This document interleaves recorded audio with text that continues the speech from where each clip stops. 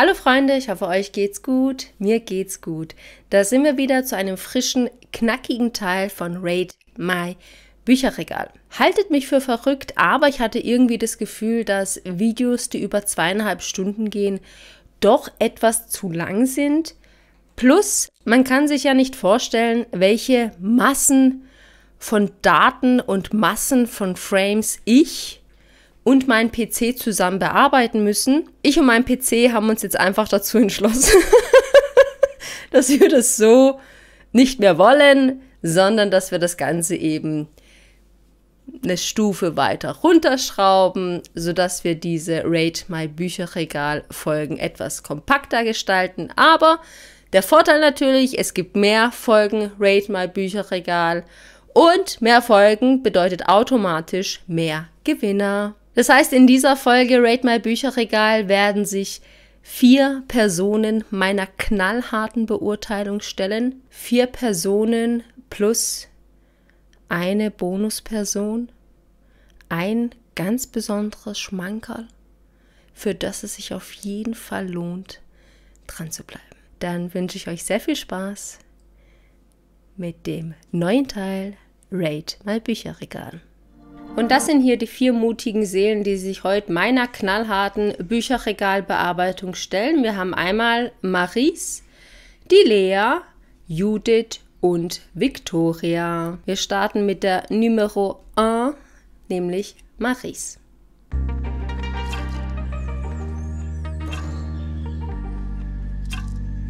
Wir hüpfen mal direkt bei dir rein, Maries.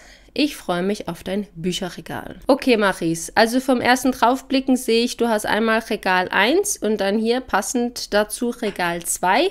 Wir fangen mit Regal 1 an, aber es ist schon mal klar, du hast einiges an Büchern versteckt. Okay, wir schauen uns das erste Regal mal an. Vom groben Überblick sieht man hier einmal, du hast hier an den Rändern zwei schmalere Regale, die sind komplett weiß. Und hier in der Mitte hast du nochmal ein anderes Regal, das ähm, eigenartige Zeichnungen auf sich drauf hat.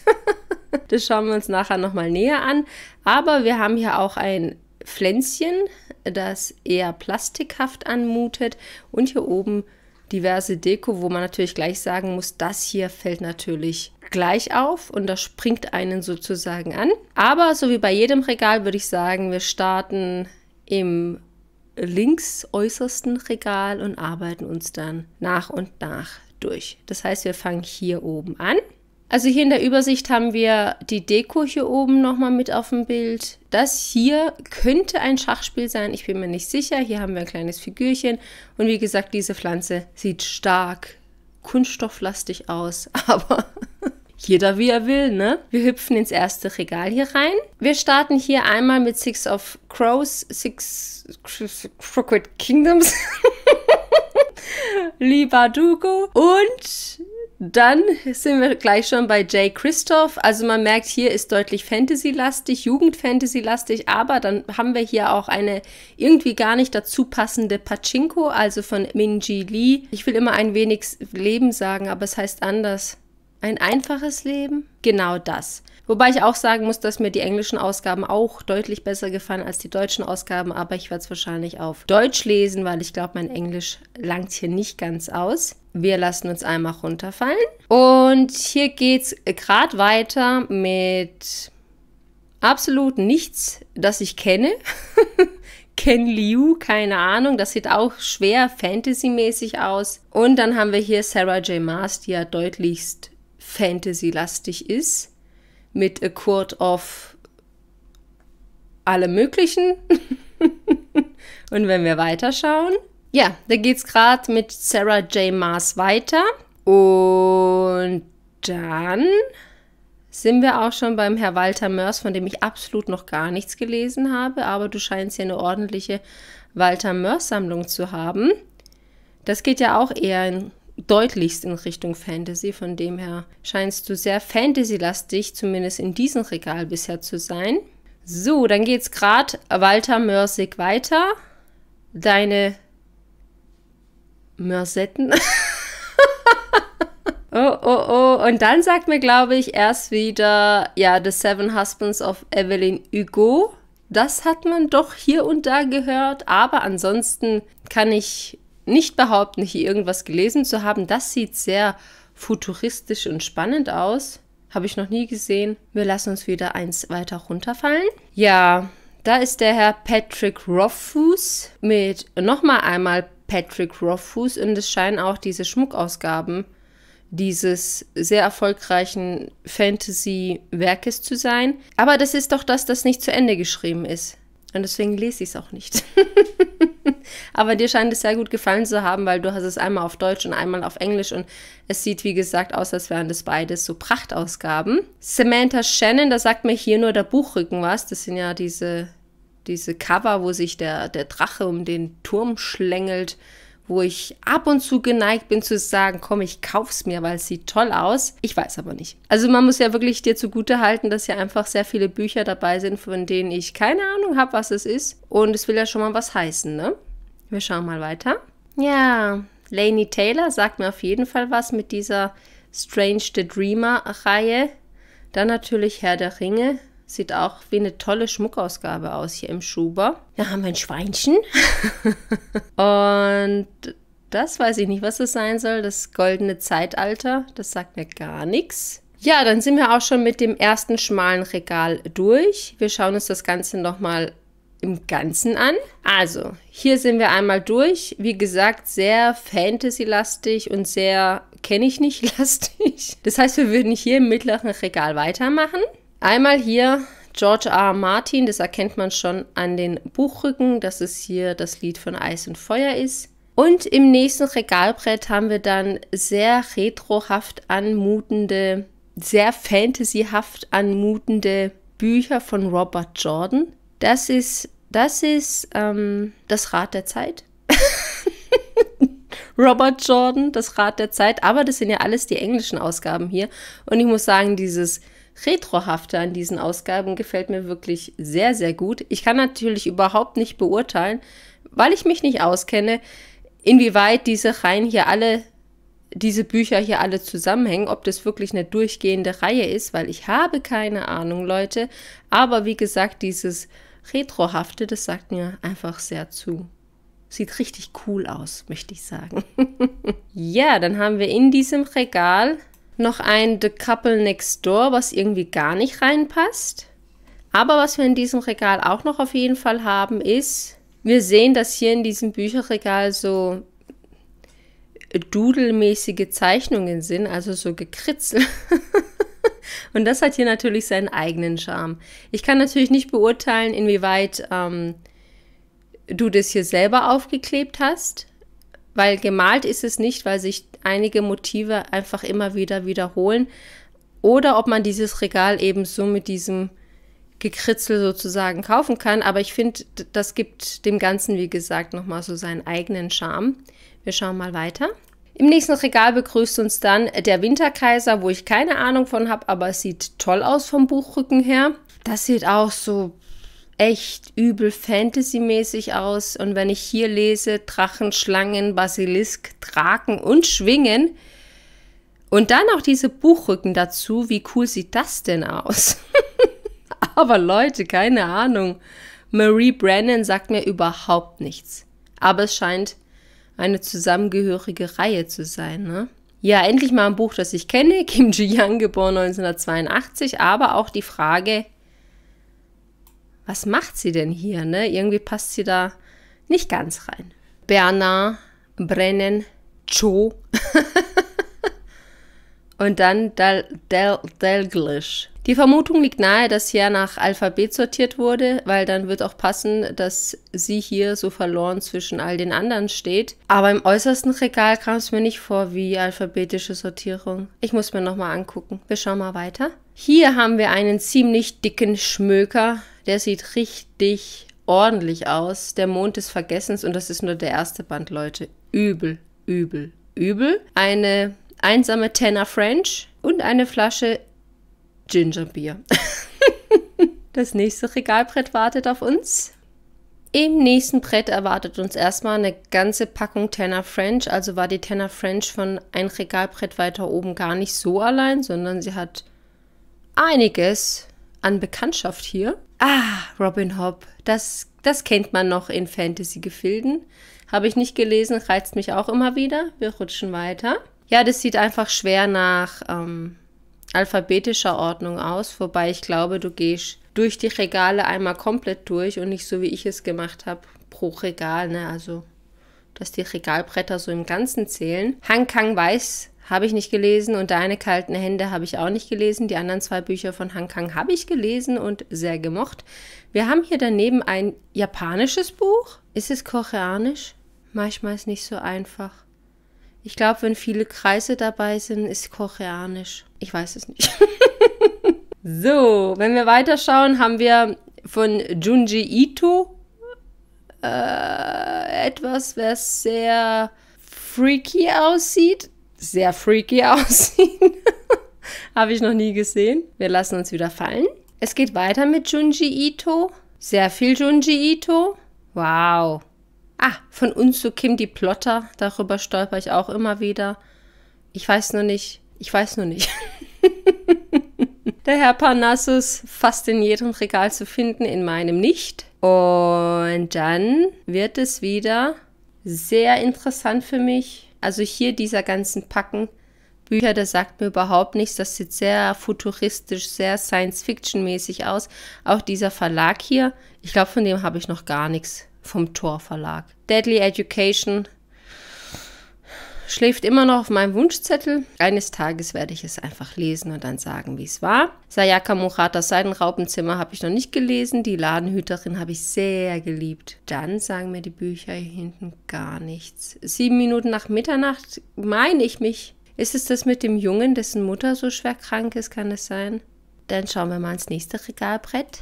Dann geht es in diesem Regalbrett mit Patrick Rothfuss weiter, was jetzt wieder dafür sprechen würde, dass du deine Regale einfach durchgehend, die Regalbretter durchgehend durch die Regale sortiert hast. Horizontal genannt. Brandon Sanderson, das sieht auch wieder sehr Retro-Vibes-mäßig aus. Hier drüben erkennt man einfach sehr gut erstmal Maggie Stiefvater, von der ich absolut nichts gelesen habe. Haben wir Battle Royale. Mein Mann ist großer Fan des Originalfilmes. Originalfilmes. Das Buch hat er nicht gelesen, das Buch habe ich auch nicht gelesen. Und dann daneben finden wir diese Ausgaben von Gutanabe. Ich hoffe, ich spreche es richtig aus. Von H.P. Lovecraft und er hat das Ganze wunderbar illustriert.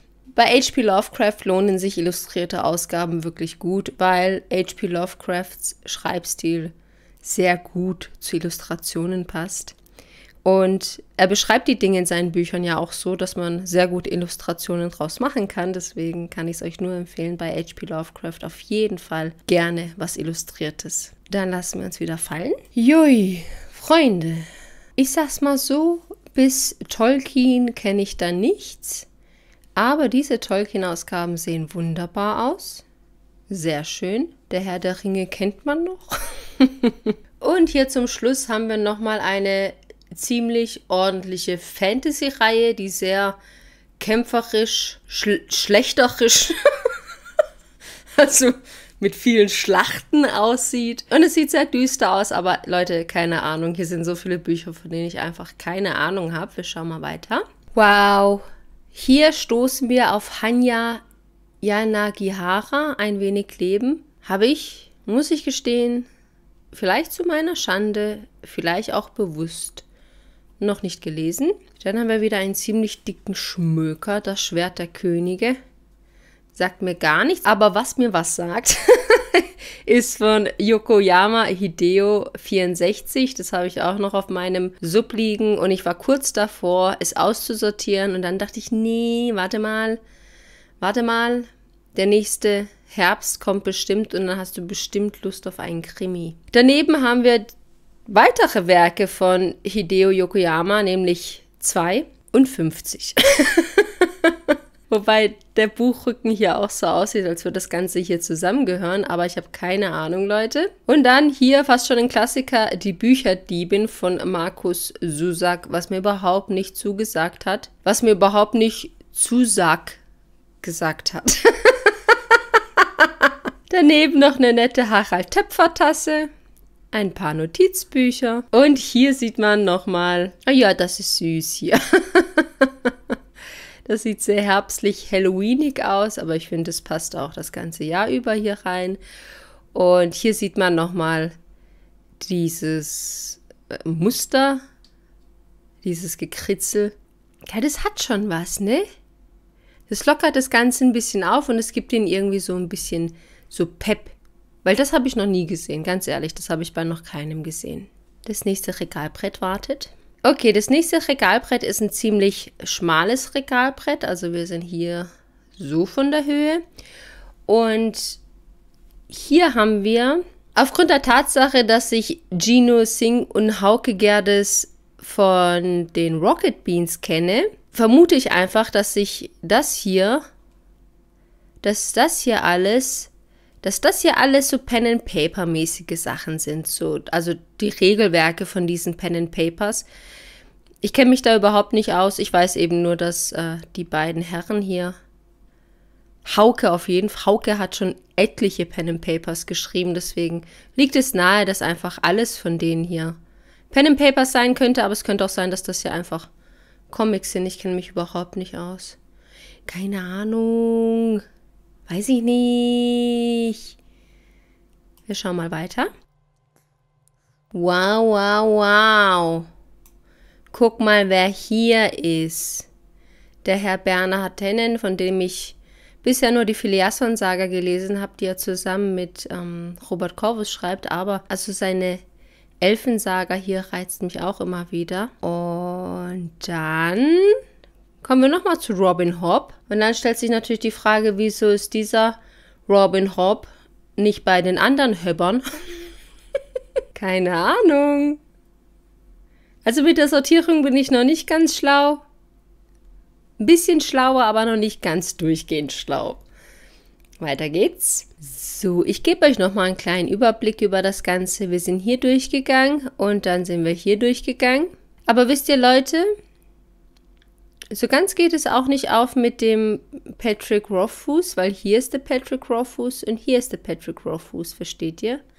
Also ganz, so ganz geht es nicht auf. Auf jeden Fall starten wir jetzt hier oben durch mit dieser ultra brutalen Maske, frisch aus meinen Albträumen importiert. das sieht furchtbar aus, aber ich muss sagen, ich kann mir überhaupt nicht vorstellen, ob das mit irgendeinem Horrorfilm was zu tun hat, ob das mit irgendeiner Serie was zu tun hat. Ich kann mir überhaupt nichts vorstellen. Es sieht einfach sehr gruselig aus. Es würde naheliegen, dass es von irgendwas ist, wenn es was mit diesem Funko Pop hier auch noch zu tun haben könnte, aber ich kann auch diesen Funko Pop beim besten Willen nicht zuordnen. Keine Ahnung. Ich weiß nicht. Funko Pops sind alles böhmische Dörfer für mich. Ich weiß es nicht. aber wenn wir ins Regal reinschauen, im dritten Regalbrett erwartet uns der dritte Band der Jade Legacy-Reihe, keine Ahnung. Aber dann haben wir hier einen ziemlichen Kulturschock, nämlich Ariane Koch die Aufdrängung, was irgendwie so gar nicht reinpasst. Aber sie steht ein bisschen verloren da. Das Buch daneben ist noch eingeschweißt und dann haben wir hier Belle Belgariad 4. Vorhin sind wir in einem anderen Regalbrett über Belgariad 3 gestolpert. Also wieso stehen die nicht beieinander? Wäre natürlich ja auch die Frage, ob das hier einfach deine ungelesenen sind. Das kann ich natürlich nicht be be be beurteilen und beantworten. Aber dann war es das auch schon in diesem Regalbrett.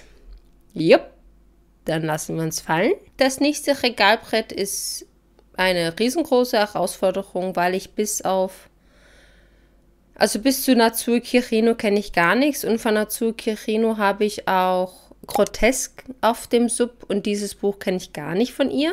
Und dann kenne ich natürlich noch Donnertats Distelfink, aber ansonsten bin ich hier echt lost. Wir lassen uns wieder fallen. Okay, Freunde, von Zhong Yu Zhong, Sieben Jahre Nacht, habe ich auch noch auf dem Sub. Ich glaube, das habe ich bei noch keinem im Regal gesehen, deswegen freut es mich gerade sehr. Dann haben wir noch mal eine Donnertat. Natürlich auch hier die Frage, wieso sind die Tarts nicht beieinander? Keine Ahnung.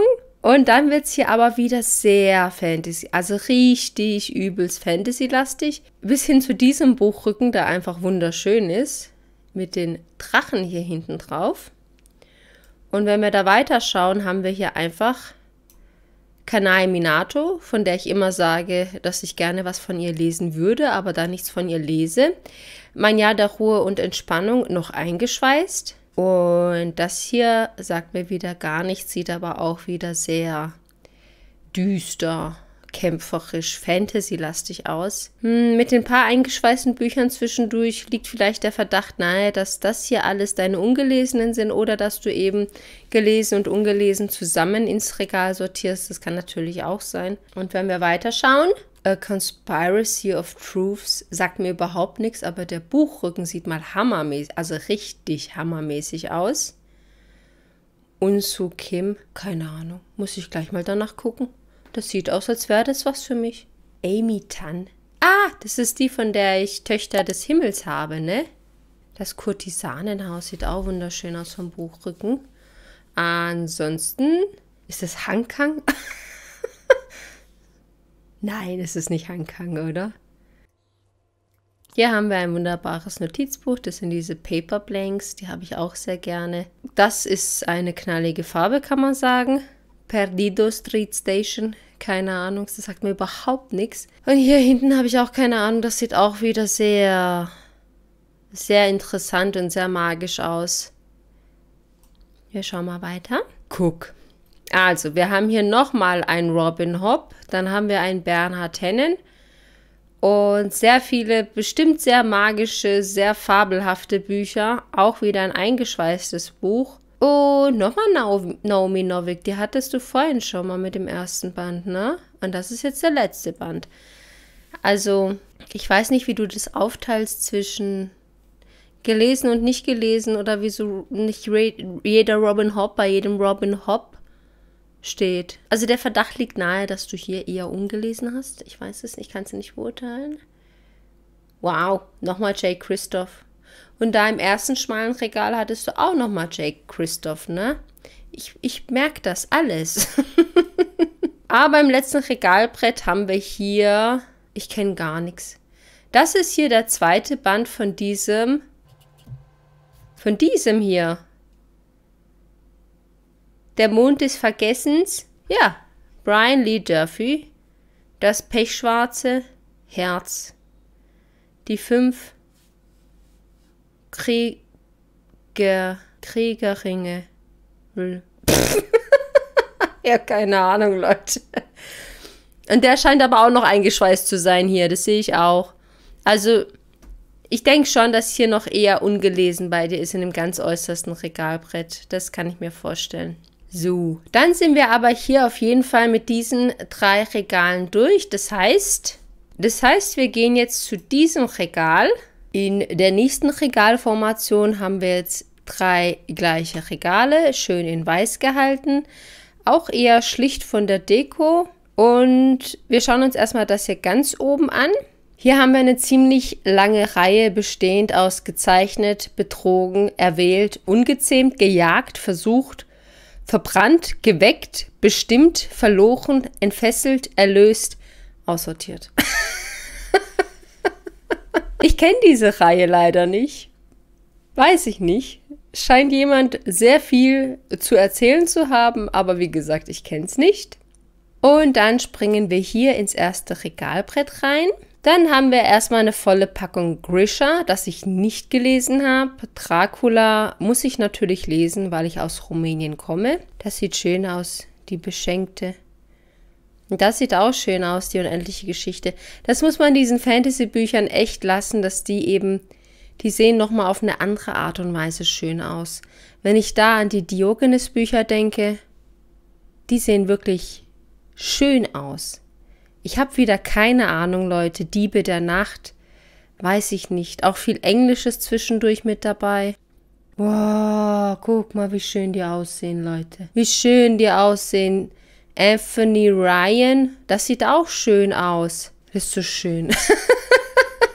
ja, außer den Tributen von Panem kenne ich hier aber gar nichts. Was auch ein bisschen schade ist, schaut mal hier Michael Ende, die unendliche Geschichte zum Beispiel. Eigentlich bin ich in Kunstbanause, weil ich es noch nicht gelesen habe und keinen Film gesehen habe, aber irgendwann, irgendwann ist es soweit, Leute, und dann werde ich es lesen, okay? Wir lassen uns eins weiter runterfallen. So, dann gibt es hier vorne Mary Lou, keine Ahnung. Die Lügen des Loch Lomora. Gut. ich kenne ja gar nichts, Leute. Christoph Lode, keine Ahnung. Es sieht wieder alles sehr düster, fabelhaft, Magie und Geheimnisse und rätselmäßig aus. Und wenn wir dann weiterrutschen, haben wir ein paar umgedrehte Bücher. Das ist auch immer eine mutige Entscheidung, Bücher einfach nicht zu zeigen. Zwei klassische Vogel Vogelsittiche. Wellensittiche. Die klassischsten Wellensittiche, die man sich vorstellen kann. Und hier drüben, hier drüben habe ich mal wieder keine Ahnung, Leute. Echt nicht. Mir sagt auch kein Buchrücken irgendwas. Aber ich muss auch sagen, diese Bücher hier, entweder du bist einfach ein unfassbar vorsichtiger Leser, aber ich sehe hier keinen einzigen Knacks in deinem Buchrücken. Und bei so dicken Schinken, und wenn der Buchrücken noch schwarz ist, dann möchte das ja echt was heißen. Wir lassen uns wieder fallen. Da oben geht's weiter mit Winter Song. Das ist aber hier Ding. Wie heißt?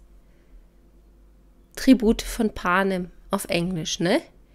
Dann haben wir Dune. Dann haben wir die Biss-Reihe. Gut, gut, gut. Die Illumine-Akten mit dem zweiten Teil. Ich glaube, der dritte Teil kam doch erst jetzt raus, oder? Und dann kommen wir zu V.E. Schwab mit Wishes. V.E. Schwab mit den anderen Büchern. Und einer Reihe, die mir überhaupt nicht sagt. Cirque du. Es wird mal wunderschön aussehen, wenn die Reihe komplett ist, glaube ich. Aber sie sagt mir überhaupt nichts. Wir schauen weiter. Jetzt, Freunde, für all die Regalbretter, in denen ich sagte, kenne ich nicht, weiß ich nicht, habe ich keine Ahnung, bin ich endlich wo angekommen, wo ich einigermaßen Ahnung habe, nämlich bei sehr asiatisch orientierten Büchern. Von Shan Hokai, die zweite Schwester, habe ich gelesen, mochte ich sehr. Das Auge von Hongkong von ihm habe ich noch nicht gelesen. Dann kommt eine gute Packung Keigo Higashino von Keigo Higashino habe ich Böse Absichten gelesen. Das ist auch so ein Autor, wo ich, nee, Böse Absichten und kleine Wunder um Mitternacht, das vergesse ich gerne, weil das kein typischer Higashino war. Aber das ist so ein typischer Autor, wo ich mir immer wieder denke, ja, da würde ich gern mehr von lesen. Und was mache ich? Nichts.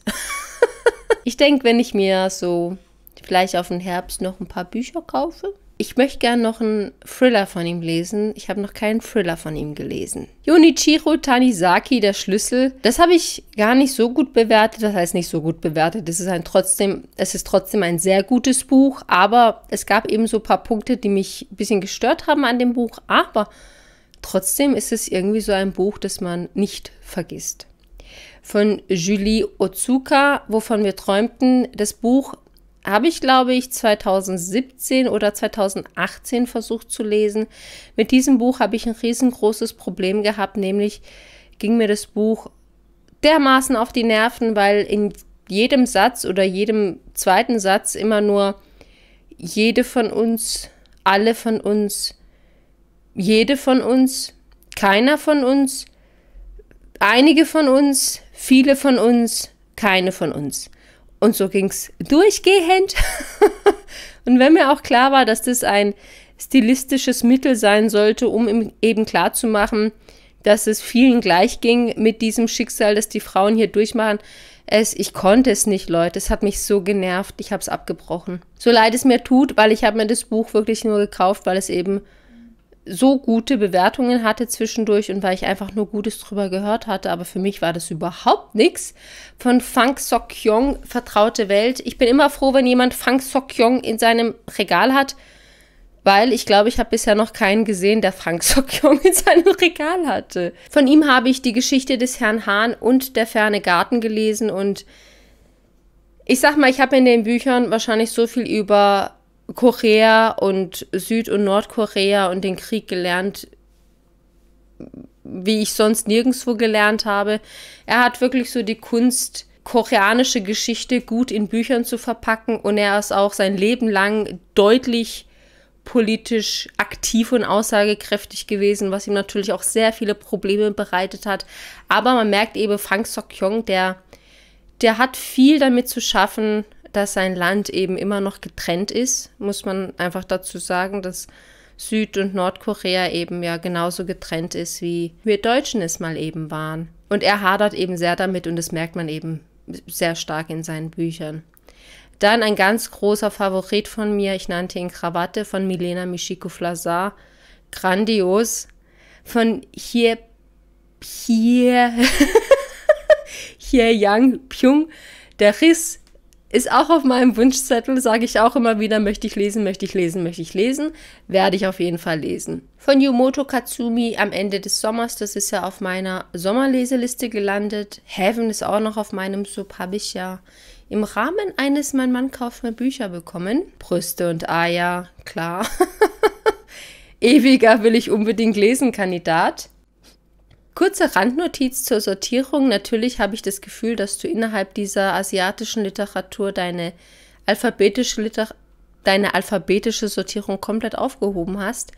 Auch den Keigo Higashino hast du nicht zu dem anderen Keigo Higashino gesteckt. Es liegt sogar hier die Vermutung nahe, ja, diese Vermutung liegt wirklich nahe, dass du in diesem asiatischen Regal farblich sortiert hast. Das prangere ich an. Wir waren bei Kleine Wunder um Mitternacht stehen geblieben. Habe ich auch gelesen, habe ich sehr gemocht. Nochmal Kanae Minato.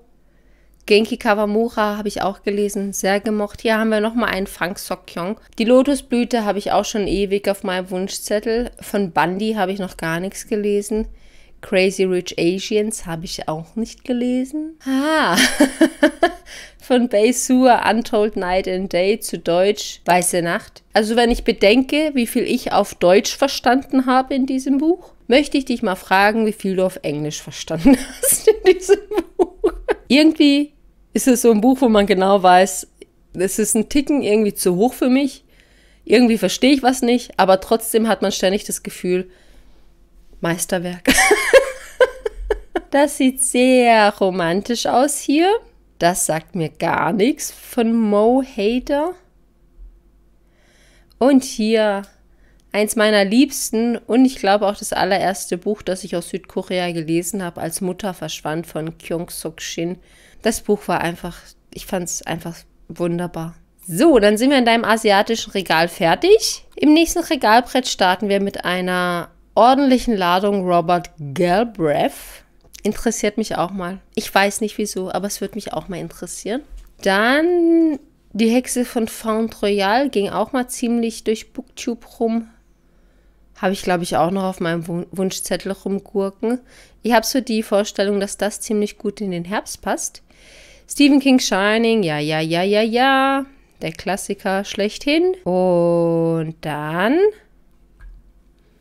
Emma Donoghue Raum. Von Emma Donoghue habe ich Das Wunder gelesen. Das hat mich so mittelmäßig begeistern können. Aber ich glaube, Raum wäre bei Emma Donoghue eh die bessere Wahl gewesen. Ich weiß noch nicht, ob ich es ob lesen möchte, werde, keine Ahnung. Delphine de Vigan nach einer wahren Geschichte reizt mich auch immer wieder. Aber da habe ich auch das Gefühl, das sieht man einfach zu oft, das Buch. Ne? Wir gehen mal weiter. So, wir starten durch mit sieht man hier nicht ganz, aber es ist The Turn of the Screw, also die Drehung der Schraube von Henry James. Patrick Süßkind, das Parfüm. Wir haben schon immer im Schloss gelebt. Dann das Bildnis des Dorian Gray 1984. Animal Farm, klar. Daphne du Maurier. Noch eine Daphne. Wilkie Collins, The Woman in White. Das muss man dir aber wirklich auch zugute halten, dass du echt viele englischsprachige Bücher drin hast. Also ich glaube, du bist ziemlich fit im Englischen. Dann haben wir zwei wunderschöne Ausgaben von Madame Bovary und Jane Eyre. Richtig schön. Ich glaube, die sind auch eng englischsprachig. Da haben wir Theodor Fontane, Effi Priest. Sieht toll aus mit diesem Buchrücken. Sieht auch sehr alt aus hier. Peterchens Mondfahrt. Nochmal Effi Priest. Jane Austen, Jane Austen. Das ist Emma, das erkenne ich noch. Und dann haben wir hier drüben, schon lange nicht mehr gesehen, ein paar Reklamhefte. Dr. Jekyll, Mr. Hyde, Grimms Märchen, Die Räuber, das Nibelungenlied, Die Verwandlung, klassische deutsche Kurzgeschichten, Romeo und Julia. Und Goethe darf natürlich nicht fehlen in einem gut sortierten Bücherregal. Einmal haben wir hier noch Einführung in die neue, neuere deutsche Literaturwissenschaft. Frage natürlich, kennst du dich aus? Und dann Korean from Zero. Korean from Zero, also ein großes Interesse scheint ja schon mal vorhanden zu sein an asiatischer, japanischsprachiger, koreanischstämmiger Literatur. Und hier hinten erkenne ich nicht mehr viel. So, im nächsten Regalbrett haben wir dann die illustrierten Ausgaben von Jim Kay von Harry Potter. Und dann kommen wir hier unten zu The Art of Dishonored 2 das ist ja ein Computerspiel für diejenigen, die es nicht kennen. Ich habe es nicht gespielt, sowas kann ich nicht spielen, Leute. Da gehen meine Nerven kaputt. Ich weiß nicht, wie das. Ah, hier. Und ganz unten haben wir nochmal The Art of Harry Potter. Das Buch kenne ich gar nicht. Aber wir scheinen auf jeden Fall einen großen Harry Potter-Fan hier zu haben. Im restlichen Regalbrett haben wir hier nochmal Dishonored, und dann haben wir ziemlich schnieke Barnes Nobles Ausgaben. Das, das sieht richtig fein aus. Richtig fein. Und von Jules Verne auch nochmal eine Barnes Nobles Ausgabe. Und dann hier Jane Austen, Edgar Allan Poe, H.P. Lovecraft und Grimm's Fairy Tales. Auch in so einem feinen Schuber. Nee, die sind einzeln in Schubern. Das sieht ja auf jeden Fall so aus wie deine Schmuckausgabenabteilung. Richtig schön sieht das aus. Wunderbar. Wir schauen mal weiter. So, jetzt gibt es erstmal große Kritik, Maries. Also diese Schmuckausgaben hier unten, die gehen ja ziemlich unter da unten. Also da hätte ich irgendwie versucht, eine Lösung zu finden, dass ich diese Schmuckausgaben irgendwie präsentiert bekomme in meinem Bücherregal, verstehst du? dass du vielleicht hier oben die freien Flächen nochmal nutzt, um ein paar Bücher zu verschieben und dass diese Schmuckausgaben hier unten, dass die auch den Platz bekommen, der ihnen zusteht, weil die sehen richtig toll aus, aber wie gesagt, ich finde hier unten sieht es irgendwie so aus wie gekauft, aber nicht gewollt. Dann sind wir aber auf jeden Fall hier mit dem Regal durch, das heißt, wir machen hier in der Mitte weiter. Und ich glaube, im nächsten Regal geht es dann auch wieder weiter mit Sachen, wo ich eher weniger Ahnung habe. Das erkenne ich schon an den Buchrücken, dass das eher was ist, wo ich sage, keine Ahnung. Eragon sagt mir schon noch was, aber auch Eragon habe ich nie gelesen.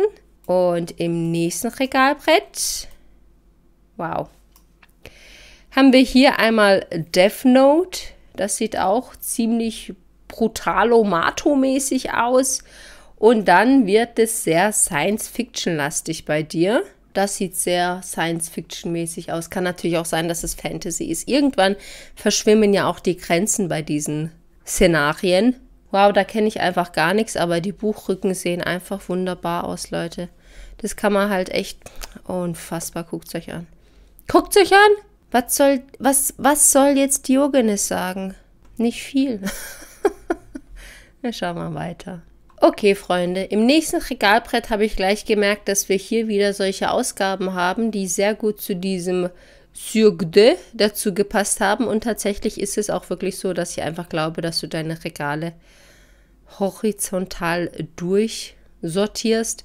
Zumindest hast du das hier Da kann ich sehr schwer mit leben, dass das hier so getrennt ist irgendwie. Weil ich glaube, das wird einfach super cool aussehen, wenn es beieinander wäre. Aber Fakt ist, dieses Freak gehört auf jeden Fall zu dem Cirque du. Genau, also hier haben wir Cirque du Freak. Die letzten fünf Teile. Cassandra Clare, keine Ahnung. Könnt ihr mich schlagen, weiß ich nichts drüber. Genauso über Lisa J. Smith. Hier haben wir nochmal einen Brandon Sanderson. Das sagt mir nochmal was. Aber bis zu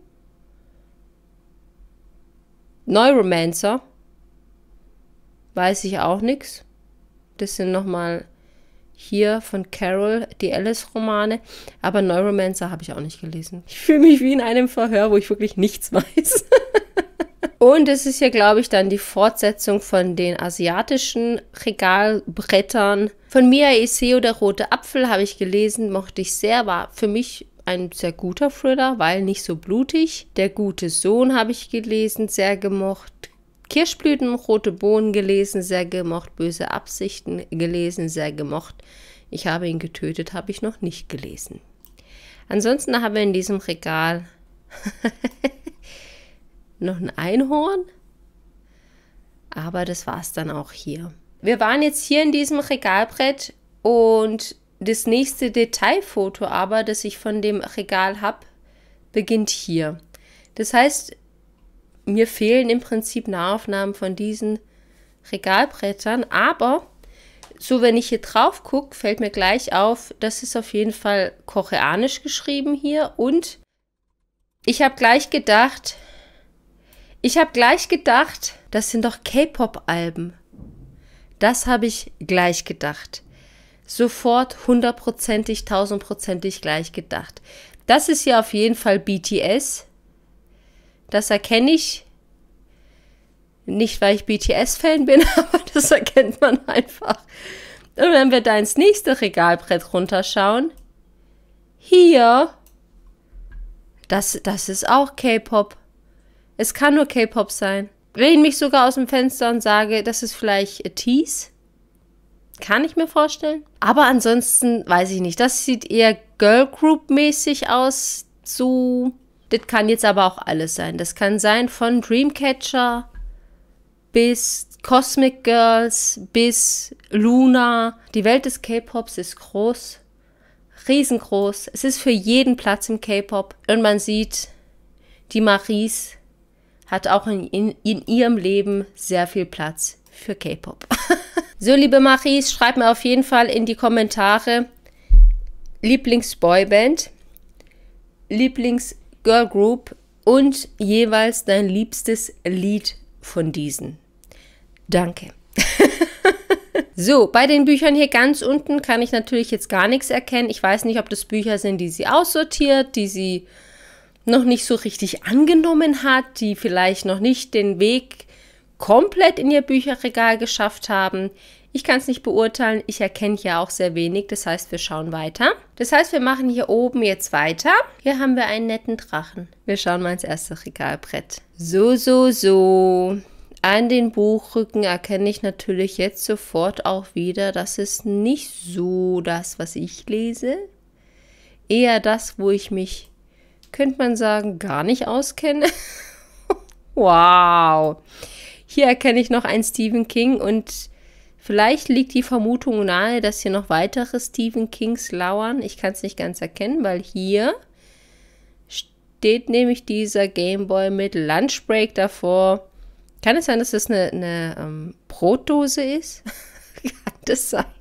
Ansonsten haben wir hier nochmal eine richtig dicke, dicke, dicke Reihe, Leute, von Ted Williams. Wir gucken weiter. So, da haben wir begonnen die Witcher-Reihe, mit der ich bis jetzt auch noch nicht weitergemacht habe. Schande über mein Haupt, was soll ich machen?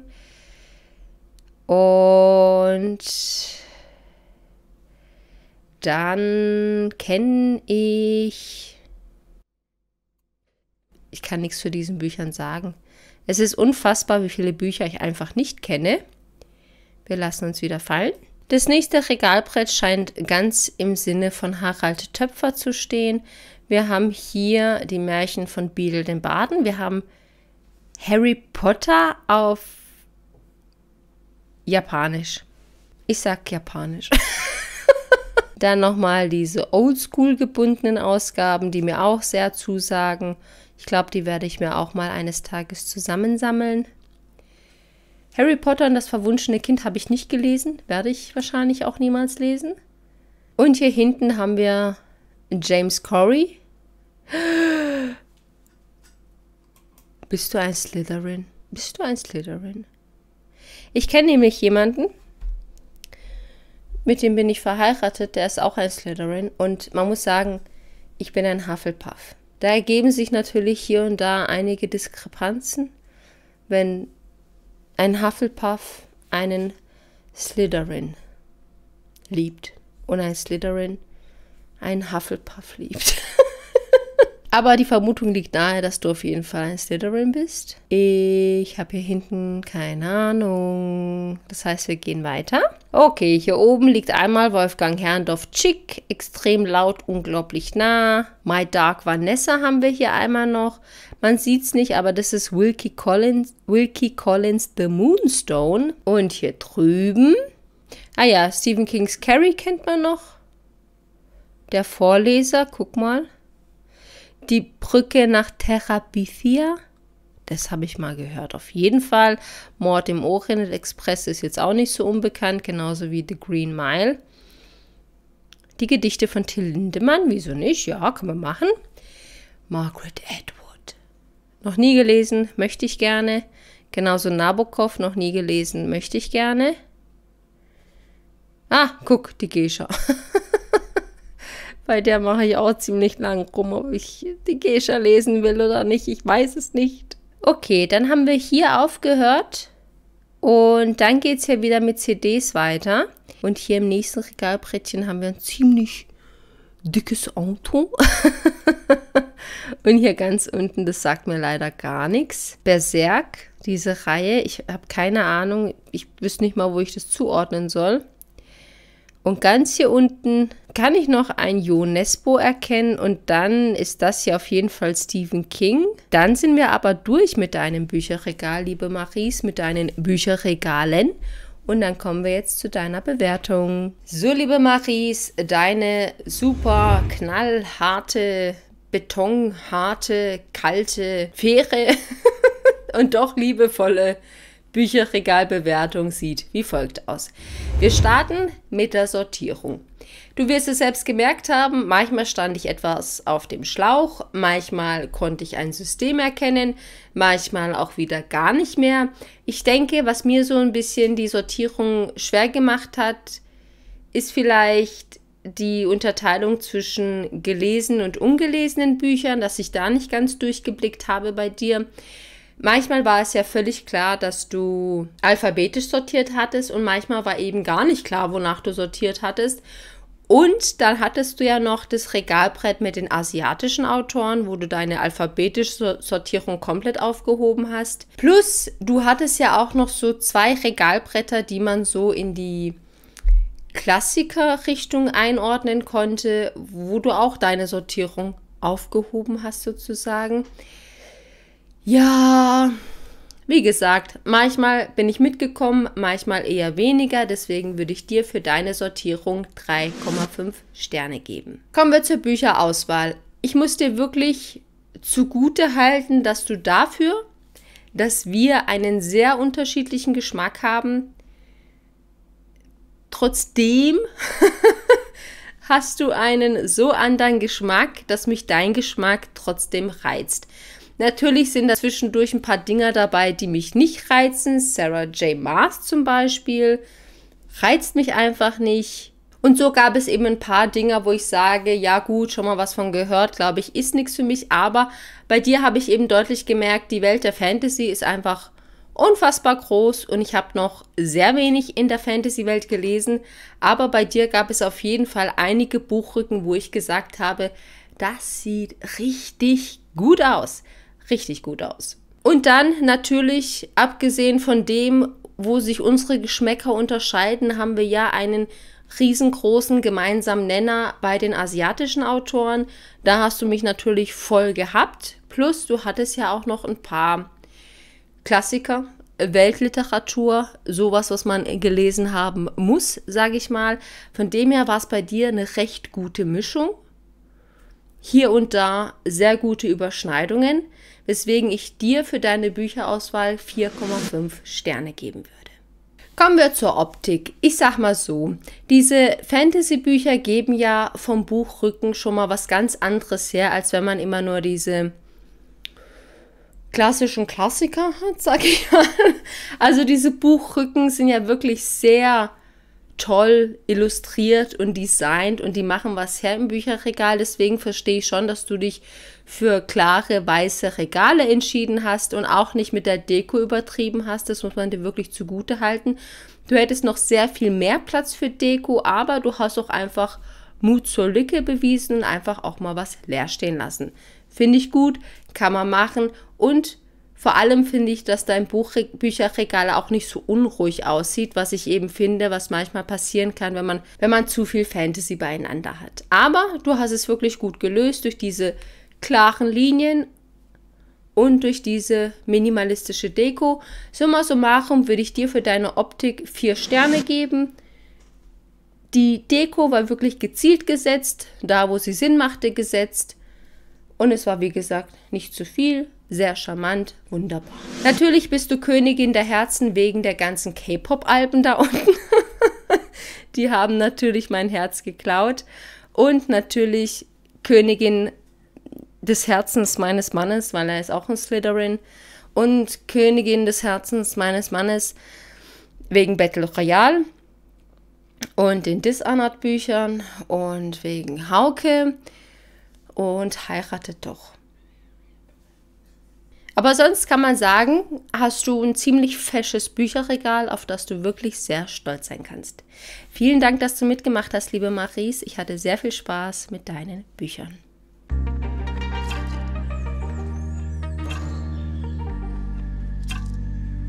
Weiter geht's in unserer knallharten Bücherregal-Bewertungsrunde und die liebe Lea ist jetzt dran.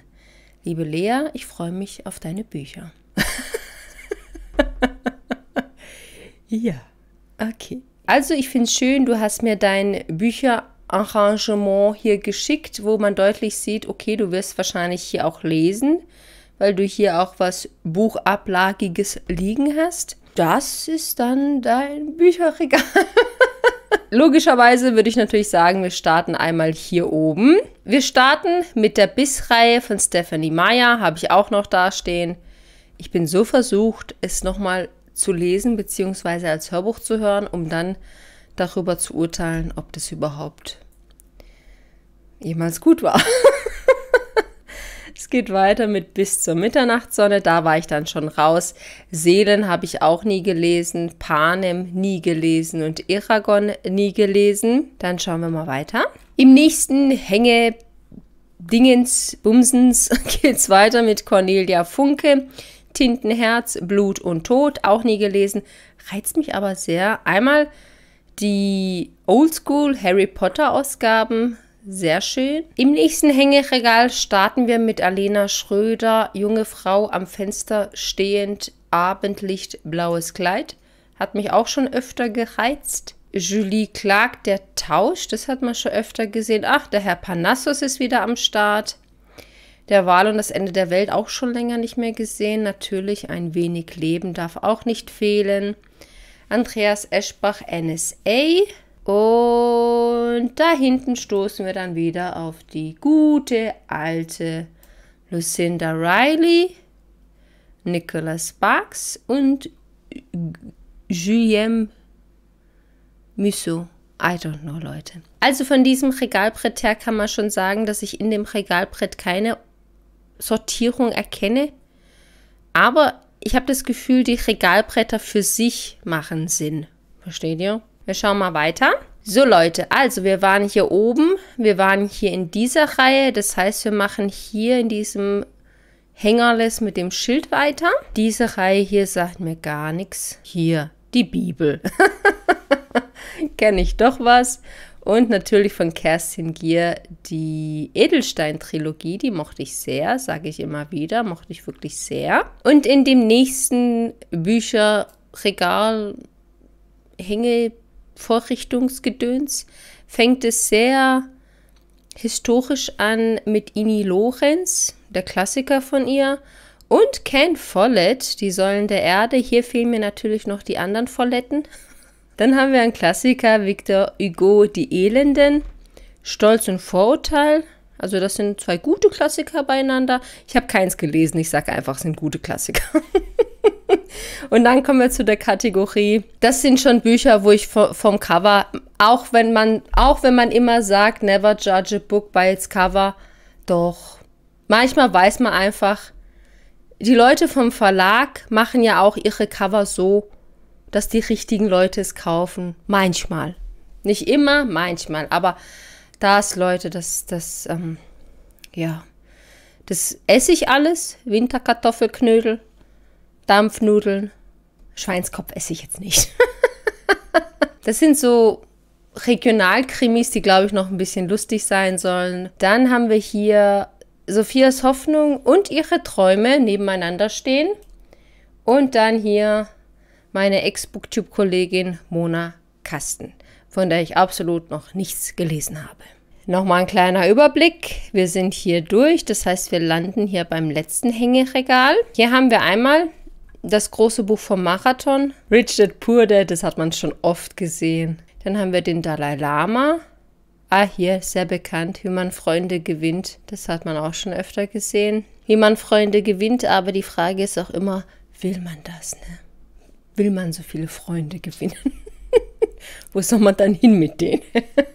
dann haben wir hier Patrick Süßkind, das Parfüm. Robert Galbraith ist wieder am Start, Leute. Bei diesem Buchrücken kann ich gar nichts erkennen. Das sieht sehr eigensinnig aus, keine Ahnung. Und dann voll reingefitzigt. ich habe mich schon, ich habe mich schon auf der sicheren Seite irgendwie so gefühlt und dann, ne, Flugangst 7a ordentlich reingefitzigt. Die Romy Hausmann, der Ragnar Jonasson, das sieht auch wieder eher Thriller- und Krimi-lastig aus. Und dann kommt hier noch dieses kleine Abstellerles, ich weiß nicht, wie ich es nennen soll, Beistelltischchen kann man es vielleicht schon nennen. Natürlich hier auch die Frage, ähm, also was hat hier das zu bedeuten? Man sieht hier, du hast deinen E-Reader hier, was natürlich einiges erklären würde, wieso hier nicht so viel rumsteht. Liegt ja nahe, ne? Aber natürlich auch die Frage, welche Bücher schaffen es hier in dieses Abstellerles? Ich glaube, die, die vom Format her schlecht hier reinpassen. So sieht das aus, aber wir schauen uns das näher an. Ja, genauso sieht es aus, nämlich als würdest du hier die aufbewahren, die eben vom Format nicht in die Hängeregale reinpassen und wahrscheinlich auch thematisch nicht reinpassen. Einmal haben wir dreimal Harry Potter. Äh, die Kammer des Schreckens fehlt aber. Wo ist die Kammer des Schreckens? Dann ein paar Reisebücher. You Only Live Once. Und hier kann ich noch Diana Gabaldon erkennen und der Medikus. Jo, liebe Lea. Kurz, knackig, spritzig, fetzig. Jetzt kommt deine Bewertung. So, liebe Lea, deine Bewertung flattert jetzt gerade zum Fenster herein. Folgendes. Wenn es um deine Sortierung geht, muss man natürlich sagen, okay, ich habe deutlich erkannt, dass du dir Gedanken gemacht hast, was beieinander stehen soll. Und für mich macht es auch Sinn, was bei dir beieinander steht. Also, dass die Bissreihe bei den anderen Büchern von Stephanie Meyer steht und die Bissreihe neben Panem, neben Eragon, neben Tinten, Herz, Tod, keine Ahnung was steht. Das macht alles so Sinn. Also du hast so Jugendfantasy beieinander gelassen und dann hast du auf der rechten Seite eher so das literarische, unterhaltungsliterarische, ganz wenig, ganz wenig Weltliteratur bzw. Klassiker und ganz unten in dem Hängeregal, in dem letzten, hast du eben so Ratgeber und so Krimi-Thriller-lastig. Also kann man sagen, ich habe deine Sortierung schon erkannt und sie macht auch Sinn für mich, aber natürlich muss man hier auch die Frage stellen, na gut, deine Masse an Büchern ist überschaubar, wie, wie schwierig ist denn das, das zu sortieren? Ich denke, so wie du es gemacht hast, macht es eben Sinn, aber es stellt nun mal auch keine große Herausforderung dar. Nichtsdestotrotz macht es Sinn. Deswegen bekommst du von mir für die Sortierung vier Sterne. Dann kommen wir zur Auswahl. Natürlich war dir bestimmt schon klar, dass du, wahrscheinlich weil du viel E-Books liest, eine sehr begrenzte Auswahl an haptisch vorhandenen Büchern da hast. Das wird dir auf jeden Fall klar gewesen sein. Und Fakt ist auch, bei einigen Büchern überschneiden wir uns natürlich. Ich habe die Biss-Reihe gelesen, ich habe Harry Potter gelesen, Edelstein-Trilogie gelesen, Ken Follett gelesen, aber dann gibt es auch eben so Bücher, die mir gar nichts zu sagen. Ja, es gäbe eben wenig, wo ich bei dir sagen würde, kannst du mir das ausleihen? Da wären wir, glaube ich, schnell an der Grenze von dessen, was ich mir bei dir ausleihen könnte. Summa summarum würde ich dir dann für deine Bücherauswahl zwei Sterne geben. Kommen wir zur Optik. Bei der Optik muss ich wirklich sagen, dass man einfach merkt, dass das hier so deine gemütliche Leseecke ist. Zumindest unterstelle ich das einfach, dass das deine gemütliche Leseecke ist. Aber trotzdem muss man eben sagen, dass das optisch, so wie du es dir gestaltet hast, ziemlich gut zueinander passt. Mir ist klar, dass mit Dachschrägen es nicht immer so einfach ist, ein Bücherregal hinzustellen. Aber was bei einer Dachschräge mir sofort in den Sinn kommt, sind diese treppenstufenartigen Bücherregale, weil ich eben, also ich persönlich habe Probleme mit diesen hängenden Regalen, weil ich keiner Wand vertraue, meine Bücher aushalten zu können. Versteht ihr? Bücher sind enorm schwer. Und deswegen bin ich dann eher ein Fan von diesen, ihr kennt sie bestimmt, diesen stufenartigen, treppenartigen Bücherregalen, die sich einfach bei dir in der Dachschräge da wunderbar einfügen würden. Ich weiß nicht, ob es dir darum geht, dass du nicht mehr Bücher haben möchtest oder dass du einfach nicht weißt, wie du mehr Platz schaffen kannst, um mehr Bücher zu haben. Aber ich glaube, mit so einem Treppenregal hättest du auf jeden Fall mehr Platz, um mehr Bücher zu haben. Und was gibt es Schöneres, als mehr Bücher zu haben?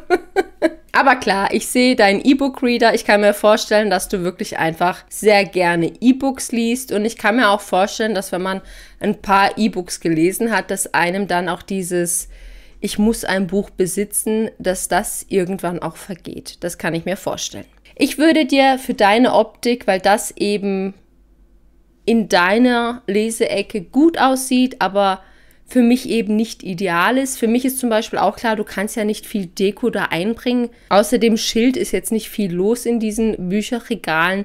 Deswegen würde ich dir für deine Optik drei Sterne geben. Vielen Dank, liebe Lea, dass du mir deine gemütliche Leseecke zugeschickt hast. Vielen Dank, dass du dich getraut hast und mitgemacht hast. Ich hatte sehr viel Spaß mit deinen Büchern.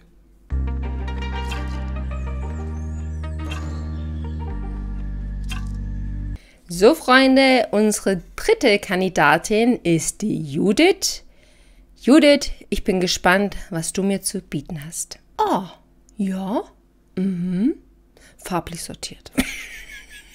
Dann schauen wir uns das Ganze erstmal im groben Überblick an. Also du hast drei schmale Regale, die du auch ziemlich gut gefüllt hast. Zwischendurch versuchst du Platz zu schaffen. Hier oben hast du eine Pflanze, hier hast du eine Monstera. Man sieht Du bist, glaube ich, so am Maximum der Kapazitäten hier mit deinem Bücherregal. Ich glaube, du brauchst noch mal was oben drauf oder hier daneben. Irgendwas brauchst du, Judith. Was brauchst du? ich muss sagen, natürlich merkt man auf den ersten Blick hier, okay, das ist farblich sortiert. Aber ich muss gucken, wie sehr es mich nachher stört im Durchgang des Bücherregals. So sieht es schon gut aus. Aber ich glaube, ich werde mich einfach nie damit anfreunden können. Egal, wir starten mal hier oben und schauen mal, was uns die liebe Judith hier zu bieten hat. Hier haben wir ein Pflänzchen. Und wenn wir näher rangehen, erkennen wir diese geniale Freundin-Reihe von Elena Ferrante. Eine wunderbare Buchstütze, die sieht klasse aus. Herrlich. Und hier drüben haben wir wahrscheinlich dein Harry Potter Eck. Und hier haben wir dann die Lego-Edition von dem fahrenden Ritter. Dann haben wir hier die Schokofrösche. Einmal Oldschool Harry Potter mit den illustrierten Ausgaben. Bei dir fehlt noch der vierte Band. Dann werden wir uns mal den Bücherregalen widmen. Okay, jetzt haben wir hier oben durch. Das heißt, wir würden hier weitermachen. Ich würde jetzt aufgrund der farblichen Sortierung einfach sagen, wir machen hier das horizontal durch. Dann würden wir hier anfangen. Wir haben Stephen King, dann diese Reihe von Justin Cronin, die mich auch immer wieder reizt, mit der Übergang die 12 und die Spiegelstadt. Aber was reizt mich nicht alles? Nochmal Stephen King, T.C. Boyle, mit dem ich keinen guten Start hatte, mit Wassermusik. Das war mir einfach zu, zu absurd. Äh, mochte ich nicht. Wenn wir rüberrutschen, na, wer ist jetzt das auch noch? Ich habe keine Ahnung, wer das jetzt auch noch ist. Wir haben einmal diesen Herrn von Stuttgart-Bache mit Panikherz, Hans Fallada, jeder für sich allein. Eine sehr zeitgenössische Sally Rooney. Nunca estuve sola von Diaz. Mein Spanisch wird immer besser. Delphine de Vegan habe ich noch gar nichts von der Frau gelesen, keine Ahnung. Daniel Kehlmann, weiß ich auch nicht. Milk and Honey ist doch diese, dieser Instagram-Poet. Ich weiß, er, dieser Rupi Kau, genau der da. Der Walter Mörs. Dann natürlich The Hunger Games. Und dann haben wir Franz Kafkas Prozess und Sylvia Plath. Die Glasglocke in diesen wunderschönen schwarzen Surkamp-Ausgaben, die sagen mir sehr zu, die mag ich sehr. Hier kommen wir auch wieder an die Grenzen der farblichen Sortierung, wenn man einfach Hunger Games neben Franz Kafka und Sylvia Plath hat und dann ebenso alles beieinander steht, was so beieinander stehen kann. Ich habe das Gefühl, du hast ja noch ein bisschen so Gedanken darüber gemacht, was besser zueinander passt. Justin Cronin zu Stephen King eher und die eher zueinander. Aber ich bin einfach kein Fan der farblichen Sortierung und das werde ich auch niemals werden. Hier starten wir mit Der große Gatsby, La Plaza del Diamante. also der Verdacht liegt nahe, liebe Judith, dass du sehr gut Spanisch kannst und auch Spanisch liest. Ich bin Circe. Dann haben wir einen Bill Kaulitz. Career Suicide. Uh, bisschen arg dramatisch, aber okay. Christiane F. Also dafür, wie oft über dieses Buch gesprochen wurde, habe ich es wirklich bei sehr wenigen bisher gesehen. Ich habe es auch nicht da, keine Ahnung. Alice im Wunderland, hier, Chunam Chu, wunderbar. Bram Stokers Dracula. Kim Ji-young war ja auch im Regal von Maris mit dabei. Also haben wir da Überschneidungen, aber es kann auch sein, dass es woanders noch Überschneidungen. Dracula hatte sie auch. Also Maries und Judith, ihr habt schon zwei Überschneidungen. Und äh, Hunger Games hatte Maries auch, aber das will ja nichts heißen. So viele Menschen haben Hunger Games, nur ich nicht. Dann gucken wir mal weiter. So, wir sind hier durch. Dann gehen wir in die hellere Buchreihe rein. Ich sehe schon, ich sehe schon, Leute. Das wird ein riesengroßes Problem. Das wird ein riesengroßes Problem, weil hier ist 1Q84 von Murakami und ich habe vorhin schon gesehen, dass du an anderer Stelle Buch 3 von 1Q84 stehen hast. Aber Buch 3 ist eben grün, deswegen kannst du es ja nicht hier stehen haben. Nur Probleme mit diesen farblich sortierten Bücherregalen. Ist das Harry Potter hier unten? Ich weiß nicht, was das ist. Nein, das ist bestimmt Star Wars oder so. Wir haben Neil Gaiman, Katrin Wessling, von der habe ich auch ein paar Sachen auf dem Wunschsessel. auf dem Wunschsessel. das wär's, Leute. Katrin Wessling, von der habe ich auch ein bisschen was auf dem Wunschzettel, aber noch nichts von ihr gelesen. Wer die Nachtigall stört, hat mich jetzt nicht vom Hocker gehauen. Farbe von Milch, möchte ich auch noch lesen. Und dann sieht es hier sehr Stephen King-lastig aus. Ah ja, Deborah Feldman hat man eine Weile lang sehr oft gesehen. Victor, das hat man bei den Book Friends Forever auf jeden Fall gesehen. Das Licht ist hier viel heller, hat man sehr oft an vielen Stellen gesehen. Dann kommt eine feine Sammlung von Hanya Yanagihara. Oh, Jojo Moyes, guck mal. Eine einzelne Mojette. Der Buchrücken Rücken sieht cool aus, aber ich kann nicht erkennen, was für ein Buch das sein soll. Dann haben wir Tolkien. Ich denke, ich denke zu viel. So, wir waren hier stehen geblieben. Ich denke, ich denke zu viel. Das heißt, wir rutschen hier rüber. Und hier lächelt uns ein halber Totenkopf an, ein ziemlich schön verzierter. Und hier sind dann diese altbekannten, schnarch langweiligen Bücher.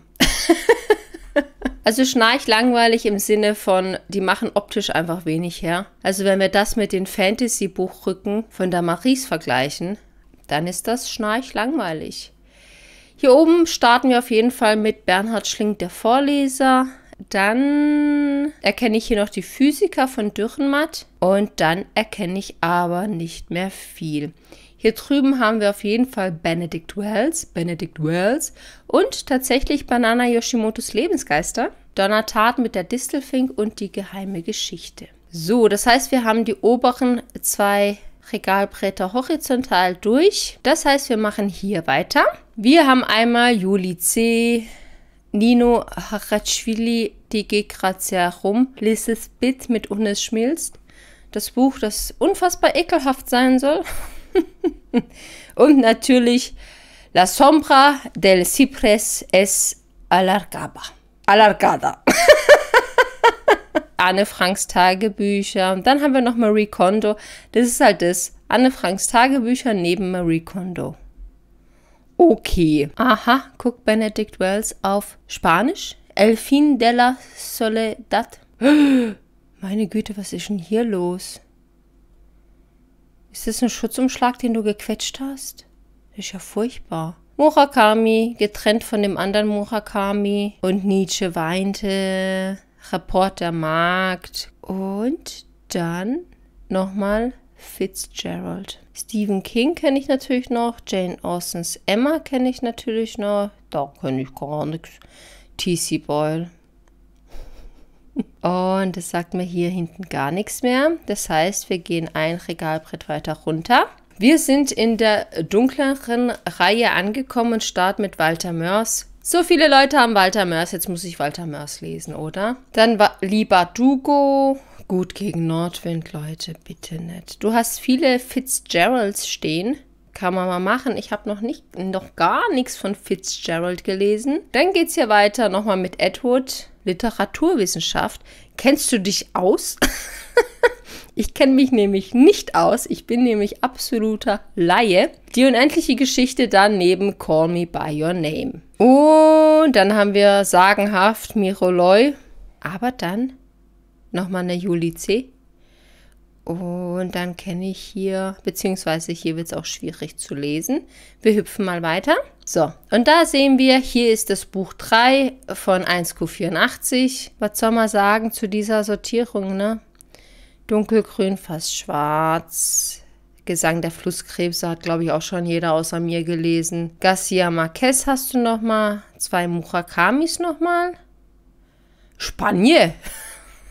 Ah ja, guck, ein Katsu Ishiguro hat es auch noch zu dir geschafft. Dann schauen wir mal weiter. Wir sehen, wir sind in der rosa-pinken Ecke angekommen.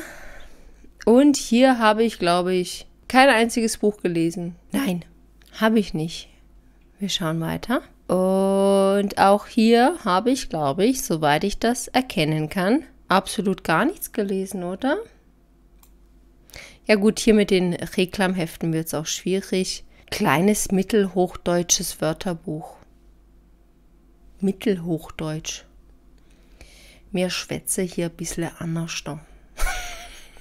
Dann rutschen wir wieder etwas rüber. So, Delfin der Vegan kennt man auch noch.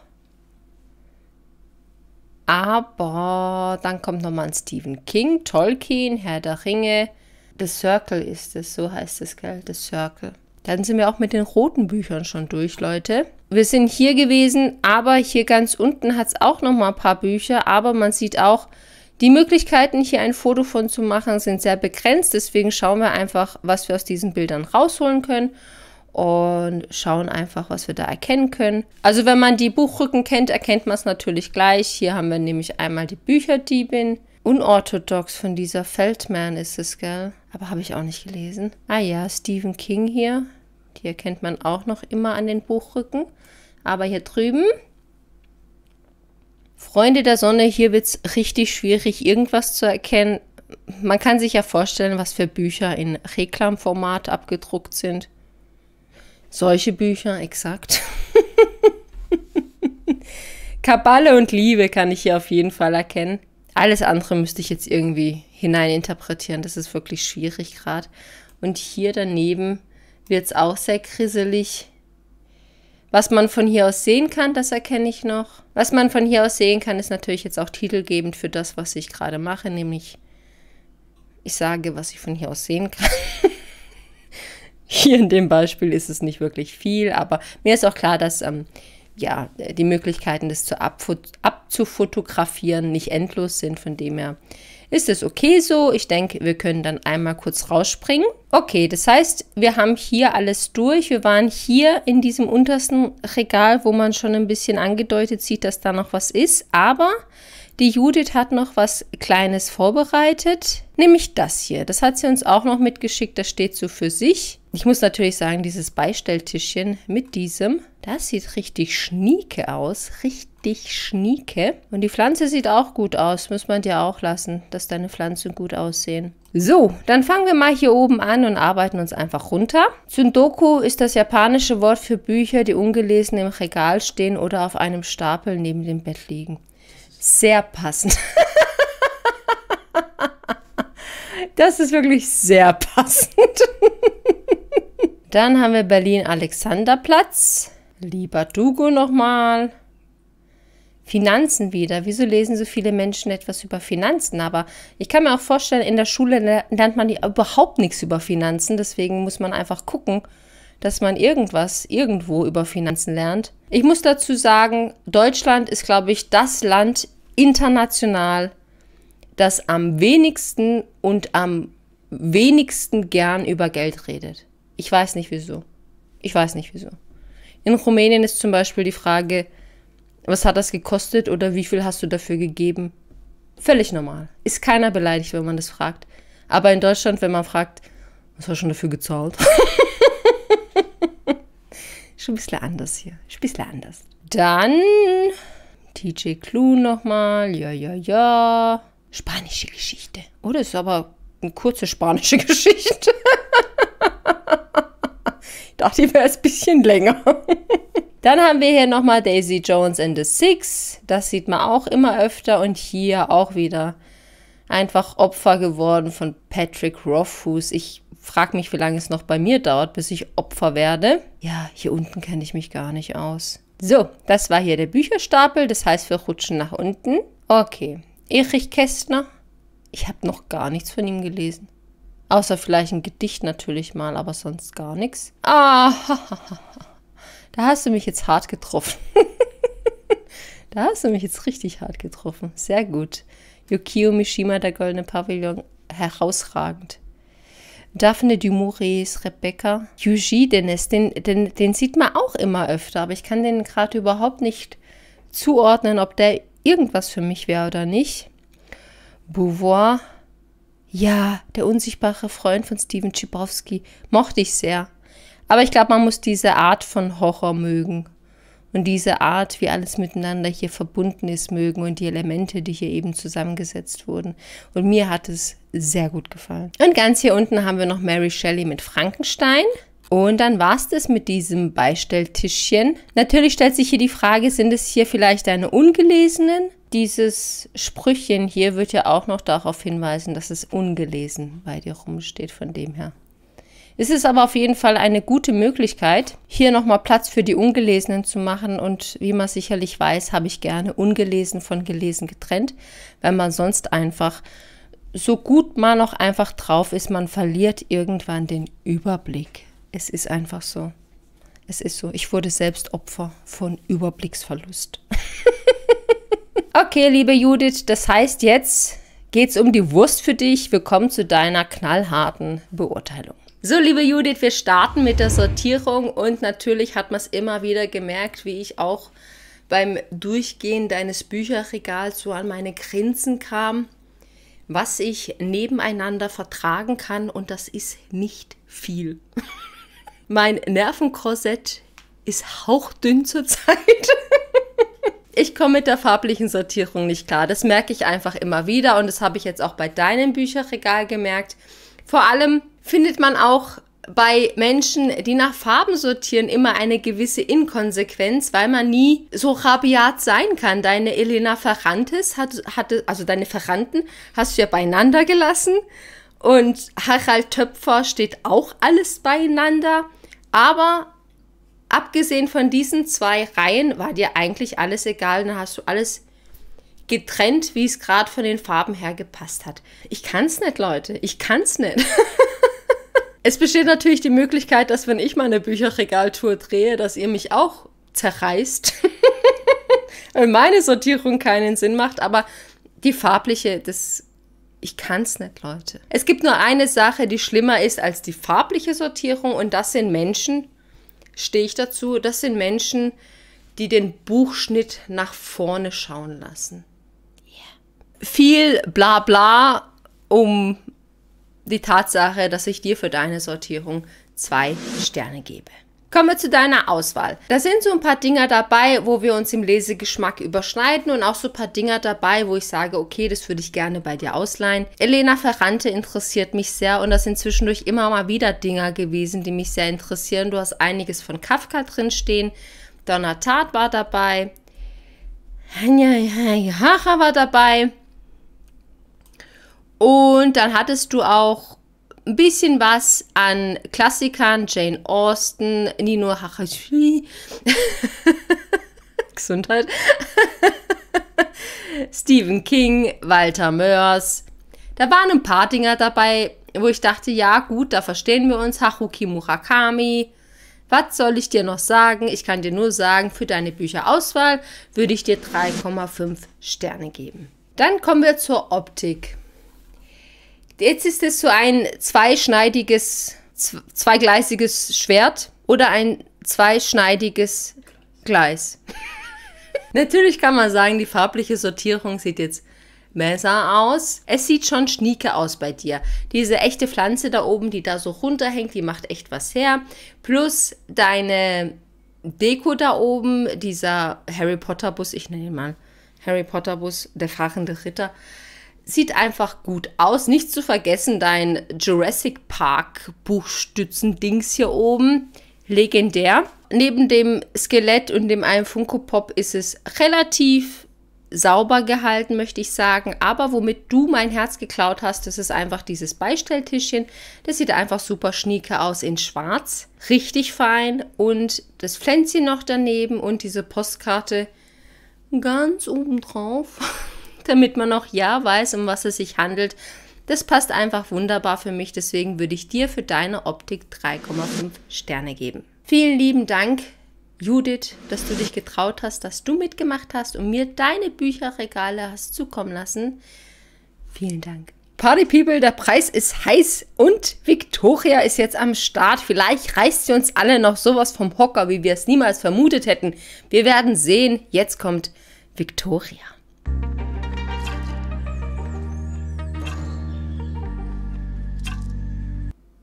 Yay!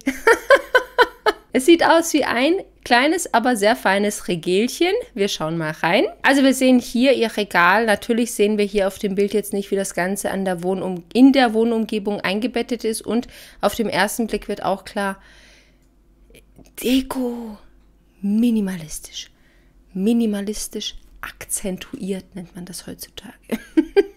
Dann bleibt uns gar nicht viel anderes übrig, als hier oben zu starten. Wenn wir mit dem ersten Regalbrett beginnen, lächelt uns gleich die Tribute von Panem entgegen. Dann stolpern wir aber gleich auch über Margaret Atwood und dann eher Science-Fiction-lastigen Büchern. Wenn wir mal rüberrutschen. Okay, wenn wir uns das angucken, Douglas Adams, The Hitchhiker's Guide to the Galaxy, auf Deutsch per Anhalter durch die Galaxis. Yes, my English is very good.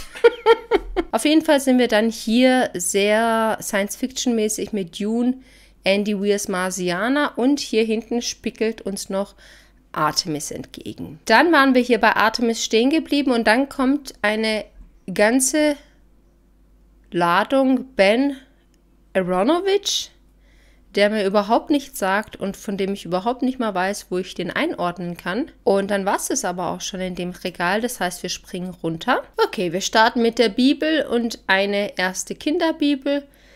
Mein Bruder und ich hatten eine Kinderbibel aus Rumänien. Wir haben nie drin gelesen, aber was ich immer gemacht habe, war die Bilder angucken. die Bilder waren so schön. Das war das Schönste, was ich jemals gesehen habe. Auf jeden Fall haben wir hier bibellastige Bücher. Das bibellastigste Buch, das es gibt, nämlich die Bibel. Und dann geht es auch eher weiter mit Jugendfantasy, kann man das sagen. Also die zwei Bücher sagen mir gar nichts, deswegen kann ich das nicht beurteilen. Aber dann kommen wir zu Tintenherz, Blut und Tod. Und wenn wir rüberschauen, sind wir dann bei Harry Potter Ausgaben, die ich so gar nicht kenne. Die Märchen von Beetle dem Baden, also das sind alles so Harry Potter anhauchende Bücher. Hier auch Quidditch und hier hinten wird ordentlich gespart für Bücher, Leute. Wir müssen ordentlich sparen für die Bücher heutzutage. Wir lassen uns wieder fallen. Im nächsten Regalbrett kommt uns Sherlock Holmes entgegen und dieser Schuber ist nämlich genau der gleiche Schuber, auf dem die Kamera jetzt steht. Also ihr steht auf diesem Schuber. Professional YouTubing nennt man das. genau, dann geht es wieder weiter mit Sherlock Holmes auf Englisch. Wow, James Joyce. Nicht schlecht, nicht schlecht. Charles Darwin. Na gut, ist auch ein Klassiker, ne? Bukowski, Clockwork Orange, Camus der Fremde. Hör mir auf. Ich mache immer dieses Gesicht bei dem Buch. Und seine gesamten Erzählungen neben Agatha Christie. Okay, wir schauen mal weiter. Also wir waren bei Agatha Christie stehen geblieben, dann machen wir gerade mit Agatha Christie weiter. La Casa in Mango Street, Estoy una Españoles. Donner wie Cross die Päpstin ist fast schon ein Klassiker. Genauso Hermann Hesse Steppenwolf ist natürlich ein Klassiker. Ita Hoffman! Hör auf! Nicht schlecht. Dr. Jekyll und Mr. Hyde. Guck! Die Buddenbrooks. Das ist aber diese kleine Fischer-Taschenbuchausgabe, die ich nicht leiden kann. Ich, ich, wenn ich die sehe, weiß ich sofort, das ist sie. Dann haben wir Nabokovs Lolita. Auch ein ewiger, möchte ich so gern lesen, Kandidat. So, rücken wir das Ganze ein bisschen zurecht. Hier haben wir George Orwell, 1984, Ovid Yes und wenn wir ganz hochrutschen, sehen wir, das ist der Alexander Scholchenizin, der Archipel-Gulag, das ist ja, das ist ja sein Hauptwerk. Und ich habe hier Ein Tag im Leben des Ivan Denisowitsch gelesen. Es hat mich irgendwie fertig gemacht, obwohl es überhaupt nicht emotional geschrieben war, aber an das hier traue ich mich noch nicht so ganz ran. Aber ich glaube, es wird sich auch lohnen. Aber der Tag muss kommen, an dem man bereit ist. Ne? Dann haben wir hier The Queen's Gambit auf Englisch, Picture of Dorian Gray, sehr gut. Und nochmal auf Deutsch das Bildnis des Dorian Gray. Hier waren jetzt nochmal ein paar Dinger dabei, wo ich sage, wow. Okay, wir schauen mal weiter. Im nächsten Regalbrett empfängt uns gleich eine Portion Reklambücher. Goethes Faust, drei davon. Kafkas Prozess und Verwandlung. Dantons Tod. Schillers Wilhelm Tell. Maria Stuart. Nochmal Wilhelm Tell, kann man nie genug davon kriegen. Die Räuber. Charlie and the Chocolate Factory. Von Roald Dahl ist es, ne? Fitzgerald. Shakespeare mit Macbeth, Othello, Hamlet, Merchant of Venice. Ganz hier am Schluss natürlich también la lluvia. Arranquen los motores. Nochmal ein Shakespeare daneben und dann kommt auch Zweigs Schachnovelle. Mit deiner Sortierung bin ich immer noch nicht irgendwie durchgestiegen.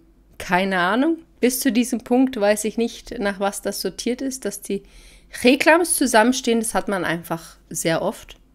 Bei mir stehen sie auch zusammen.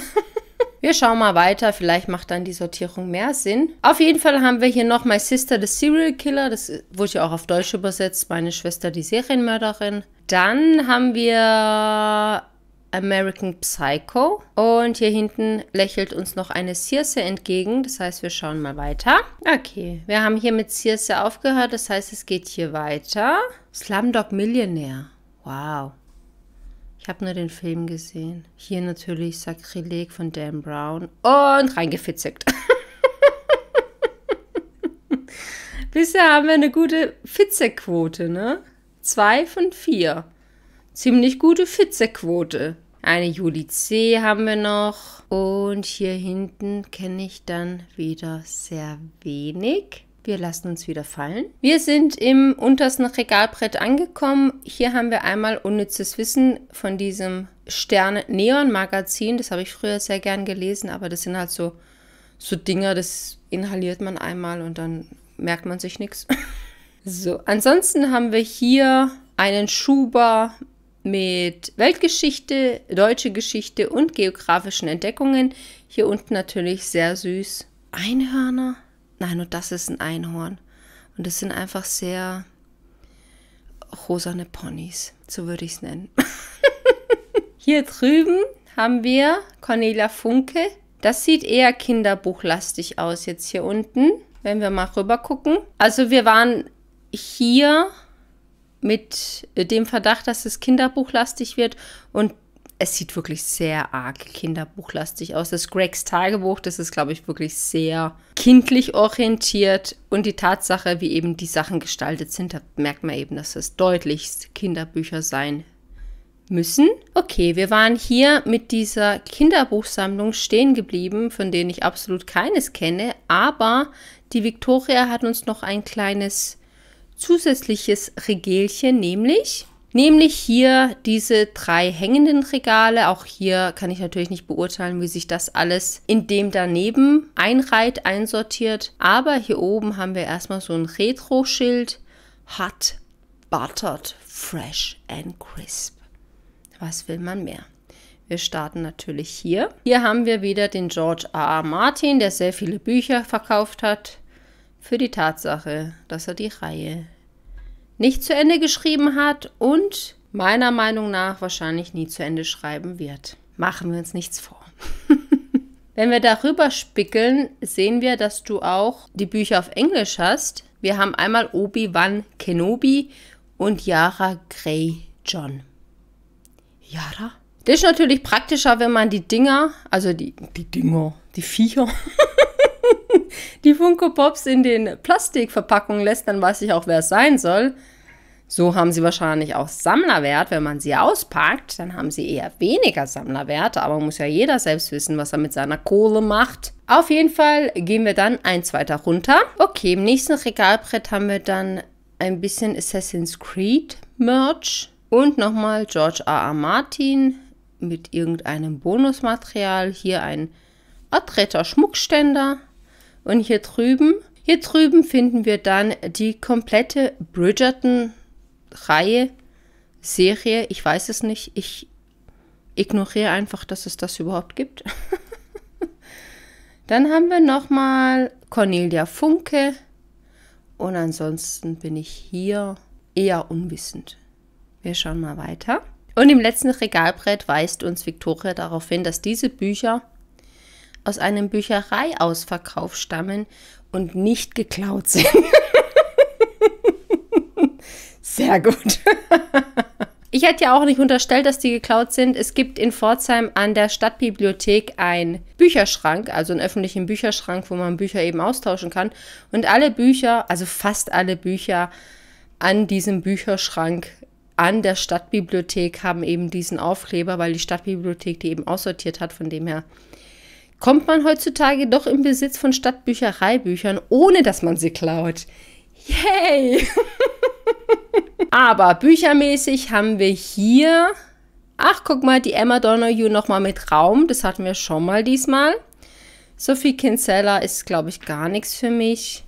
Und natürlich, also du bist, glaube ich, die Erste, bei der ich das sehe, des Readers Digest. also diese Dinger sind ja echt in jedem, in jedem öffentlichen Bücherschrank findet man das hier. Und wisst ihr, ich weiß nie, ob immer die Vollversionen drin sind. Da bin ich mir immer unsicher, ob das wirklich die vollen Versionen dieser Bücher sind. Aber hier daneben haben wir eine dekorative Uhr. Und dann war es aber auch schon. Dann ist es schon soweit, liebe Victoria, du bekommst deine Bewertung. Bei der Sortierung wird man zwischendurch gemerkt haben, ich komme nicht ganz mit. Manchmal war es für mich thematisch nachvollziehbar, wie du sortiert hast, aber eben nicht durchgehend nachvollziehbar, wie du sortiert hast. Es kann natürlich bei diesem Format immer sein, dass es für diejenigen, die es sortiert haben, so Sinn macht. Ich weiß das. aber für mich ist es eben aufgrund dessen, dass ich nicht alle Bücher kenne und aufgrund dessen, dass ich eben das Regal nicht selbst sortiert habe, dass es manchmal für mich eben nicht Sinn macht. Für mich ist, wie gesagt, manchmal ein thematischer Faden erkennbar gewesen, beziehungsweise ein Genrefaden erkennbar gewesen, aber eben nicht ganz durchgängig erkennbar gewesen. Deswegen würde ich dir für deine Sortierung 2,5 Sterne geben. Natürlich ist klar, die Kinderbücher da unten hast du alle beide Kinderbücher, aber so zwischendurch habe ich irgendwie so den roten Faden in der Sortierung verloren und dann kam es mir manchmal vor, dass einfach die Verlage gut beieinander stehen. Kommen wir zur Buchauswahl. Bei der Buchauswahl muss ich dir wirklich zugute halten, dass du einiges an Weltliteratur da hast, also von Albert Camus bis hin zu Alexander Solzhenitsyn und dann auch ein bisschen die britischen Klassiker mit das Bildnis des Dorian Gray und Sherlock Holmes, der kein Autor ist. und da waren eben so ein paar Perlen dabei, wo ich denke, okay, die möchte ich auch noch lesen. Buddenbrooks zum Beispiel. Und wo ich aber auch denke, okay, da überschneiden wir uns sehr gut, nämlich Päpstin, Steppenwolf. Ich habe zwischendurch einfach gemerkt, okay, wir haben hier eine gute Linie und okay, hier gibt es doch einige Dinge, die ich mir bei dir ausleihen würde, Nabokov zum Beispiel. Deswegen gebe ich dir für deine Buchauswahl 3,5 Sterne. Dann kommen wir zur Optik. Ich denke, du bist dir selber im Klaren darüber, dass das eher eine bescheidene Art ist zu dekorieren. Und bei dir stehen eben wirklich die Bücher im Vordergrund. Also man merkt bei dir, dass Schnörkel nicht so deins ist. Was ja auch nicht schlimm ist. Das Einzige, wo man ein bisschen so ein bisschen mehr Deko und ein bisschen mehr von dir erkennt, ist in diesen hängenden Regalen, wo man eben mal so ein Metallschildchen hat, wo man eben mal einen Funko Pop hat, so ungern ich sie auch habe, wo man dann eben ja mal was von Assassin's Creed sieht, wo man eben ein bisschen von deiner Persönlichkeit erkennt. Deswegen würde ich dir für deine Optik drei Sterne geben. Vielen Dank, liebe Viktoria, dass du so mutig warst, hier mitzumachen. Ich hatte sehr viel Spaß mit deinem Bücherregal. Vielen lieben Dank. So, Freunde, das war wieder die knallharte Bücherregalbeurteilung von mir. Vielen Dank an alle, die teilgenommen haben.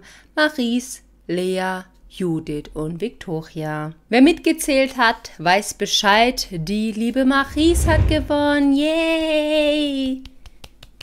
Herzlichen Glückwunsch, liebe Maries. Du bist der Gewinner der goldenen Krone des schönsten, tollsten, besten Bücherregals in dieser Folge. Herzlichen Glückwunsch. Vielen Dank an alle, die mir jemals ihr Bücherregal eingeschickt haben und mir vertrauen, dass ich daraus irgendetwas zustande bringe. Dann kommen wir aber zu dem kleinen versprochenen Schmankerl. Wer bei dem letzten Teil Raid My Bücherregal dabei war, der kann sich eventuell noch an Christopher erinnern, beziehungsweise an Christophers Bücherregal. Die meisten Kommentare, die ich erhalten habe, treten sich um Christophers Bücherregal. Und ich möchte an dieser Stelle klarstellen, dass es nicht darum geht, Christopher irgendwas Böses zu unterstellen oder ihm zu sagen, wie er mit seinen Büchern umgehen soll. Jeder Mensch darf mit seinen Büchern machen, was er will. Aber die meistgestellte Frage war eben, hat sich Christopher gemeldet? Und Leute, ich kann euch beruhigen. Christopher hat sich gemeldet. Der Christopher hat mir nämlich nochmal eine E-Mail geschickt und der Christopher hat auch ein YouTube-Video, in dem er beschreibt, was er eben mit den Büchern macht, um diese Bücher eben immer sehr handlich vor Ort zur Stelle zu haben. Und was beim Christopher eben deutlich wird, ihm geht es wirklich darum, jede freie Minute des Tages zum Lesen zu nutzen. Und deswegen kann ich mir wirklich vorstellen, dass es ihm als viel reisender Softwareentwickler eben so passt, dass er so mit seinen Büchern umgeht, dass er eben seine Technik gefunden hat, wie er mit seinen Büchern umgehen kann, damit er diese Bücher eben immer zur Stelle hat. Muss nicht jeder mögen, aber jeder darf mit seinen Büchern machen, was er will. Auf jeden Fall hat mir der Christopher auch noch mal eine aktualisierte Version seines Bücherregals geschickt und ich möchte das jetzt einfach nicht vorbeiziehen lassen, sondern ich würde da gerne nochmal einen Blick drauf werfen, weil sich der Christopher einfach unendlich viel Mühe gemacht hat. Nochmal für die, die die erste Folge nicht gesehen haben, wir haben uns ja in der ersten Folge mit dem Bücherregal von Christopher befasst, das er so eingeschickt hatte und mir war gleich klar, okay, das ist ein anderes Konzept, definitiv, aber ich hatte eben Probleme, vieles zu erkennen in diesem Bücherregal. Deswegen, deswegen hat mir der Christopher nochmal seine Bücherregale durchgeschickt. Und man sieht schon, der Christopher hat sich die Mühe gemacht, es deutlicher zu beschriften. Deswegen schauen wir da jetzt einfach mal rein. So, Freunde, heißt nicht, dass ich irgendwas mehr kapiere. Ich kann nur vielleicht ein bisschen mehr herleiten. Und ich glaube, in diesem Zusammenhang bekommt Rate My Bücherregal wirklich seine urdeutsche Bedeutung, nämlich rate mein Bücherregal. Im Sinne von errate, was ich im Bücherregal habe. Ich würde sagen, wir befassen uns hier mit diesem Bücherstapel. Der Christopher schrieb mir nämlich, vielen Dank, dass ihr meinen Schrank ausgewählt habt. Ich habe ihn weiterentwickelt, jetzt kann man alles besser lesen. Definitiv kann man jetzt alles besser lesen, aber natürlich fehlt mir bei diesen Schlagwörtern, die du drauf geschrieben hast, immer ein bisschen der Zusammenhang. Ich kann hier natürlich Gulag lesen, das könnte Galeman sein, aber welche Bücher das im Endeffekt sind, das weiß ich dann auch nicht. Dumas habe ich, glaube ich, auch noch im ersten Teil, also beim ersten Buch, herausfinden können. Herausragend muss man einfach mit Christopher lassen, finde ich, dass er hier noch die Buchbindung mit drauf gemalt hat. Hervorragend. Ich glaube, wenn man die Bücher gelesen hat, die er hier so stehen hat, kann man die irgendwie verbinden. Aber mit dem Schlagwort Hexe kann ich jetzt nicht viel anfangen. Ne? Das ist, es können von bis können es ja alles sein. Ne? Und wenn wir weiter runterrutschen, haben wir wieder das gleiche Problem. Ne? Ich weiß auch nicht, ob die Farben was zu bedeuten haben oder ob die Farben ihm einfach irgendwann ausgegangen sind oder ob die Farben eben Genre sein könnten. Aber das ist schon alphabetisch sortiert. Also hier ist alles mit K, hier ist NM, L. Das ist eher alphabetisch sortiert, ne? Das merkt man hier deutlich. Symbol kann natürlich das von Dan Brown sein. Stalingrad kann jetzt auch wieder von Biss sein, ne? Und wenn wir uns dann die andere Hälfte des Bücherregals anschauen, kann Tibet natürlich sieben Jahre in Tibet sein, aber weiß ich es? Ich weiß es nicht. Ja, ich bin auf jeden Fall dem Christopher sehr dankbar, dass er seine Bücher eingeschickt hat, weil ich glaube, im booktubigen Bereich sind wir sehr eintönig, was schöne Bücherregale angeht. Ich merke es ja an mir selber, ich bin auch so, dass ich sage, das hätte ich gern, das hätte ich gern, das hätte ich gern und dann ist das ein schönes Bücherregal. Aber ich glaube, andere Menschen haben eben andere Prioritäten beim Bücherlesen, wie zum Beispiel die Funktionalität, dass ein Buch in jeder Lebenslage für mich funktionieren muss. Und dann ist es auch völlig okay, dass wenn man sich zum Lebensziel gemacht hat, jede freie Minute lesen zu können, ja, dann darf man doch mit seinen Büchern machen, was man will. Deswegen finde ich es toll, dass der Christopher seine Bücher eingeschickt hat, weil es eben nochmal eine andere Art ist, mit Büchern umzugehen und wir eben, glaube ich, im booktubigen Bereich sehr eingefahren und sehr monoton sind, was den Umgang mit Büchern angeht. Also wir kriegen ja schon ein Herzkasper, wenn es darum geht, Leserillen reinzumachen. Nein, bitte nicht. Oder wenn ein Buch schief gelesen wird, ist auch ganz schlimm für uns. Aber ich finde es eben toll, dass andere Menschen eben Wege für sich finden, wie Bücher in jeder Lebenslage für sie funktionieren können. Für mich ist es nichts, ganz einfach, weil ich sehr wenig unterwegs bin und ich kann auch nicht dieses für zwei Minuten mal kurz lesen. Das kann ich einfach nicht. Aber wenn man ein Typ ist, der sich schnell vertiefen kann, schnell wieder rausgehen kann und dann wieder schnell in ein Buch vertiefen kann, ja, warum nicht? Deswegen danke ich auf jeden Fall dir nochmal, Christopher, dass du dir nochmal so viel Mühe gegeben hast, es deutlicher zu machen, was für Bücher du hast. Und man merkt einfach, du hast sehr viele Bücher und du liebst Bücher über alles, sonst würdest du dir nicht so viel Mühe machen, um Bücher immer an deiner Seite zu haben. Und ich finde es eben, wie gesagt, sehr gut, dass man eben nochmal eine andere Art sieht, mit Büchern umzugehen und eine andere Art, Bücher zu lieben, weil ich glaube, du, du liebst Bücher vielleicht sogar ein bisschen mehr als wir alle anderen, weil du sie immer bei dir haben möchtest. Und deswegen gehörst du eben genauso zu den Bücherliebhabern wie wir alle anderen auch. Wer sich für Christophers Lesetechnik interessiert, beziehungsweise wie er es eben hinkriegt, die Bücher immer handlich parat zu haben, dem verlinke ich gerne Christophers Video unten in der Videobeschreibung und da erklärt er eben, wie er die Bücher bearbeitet, damit er sie eben immer bei sich haben kann. Jo Freunde, dann war das eine wunderbare, knackige Runde Rate My Bücherregal. Es waren einige Perlen dabei, es waren wunderbare Bücher dabei, es waren sehr viele Bücher dabei, die ich überhaupt nicht kenne. Und ich bin einfach wieder mal sehr froh, dass ich in eure Bücherregale spickeln darf. Ich hoffe, ihr konntet ein bisschen Inspiration mitnehmen. Lasst mich wissen, wer euer Gewinner war. Welches Bücherregal konnte euer Herz erobern? Dann wünsche ich euch noch einen schönen Tag. Lasst euch nicht ärgern und bis zum nächsten Mal.